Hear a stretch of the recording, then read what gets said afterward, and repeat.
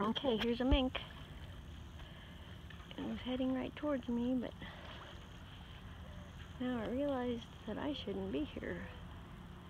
Mink on the run. Wow, it really moves, doesn't it? There it goes. Ha ha ha. Full of nature here.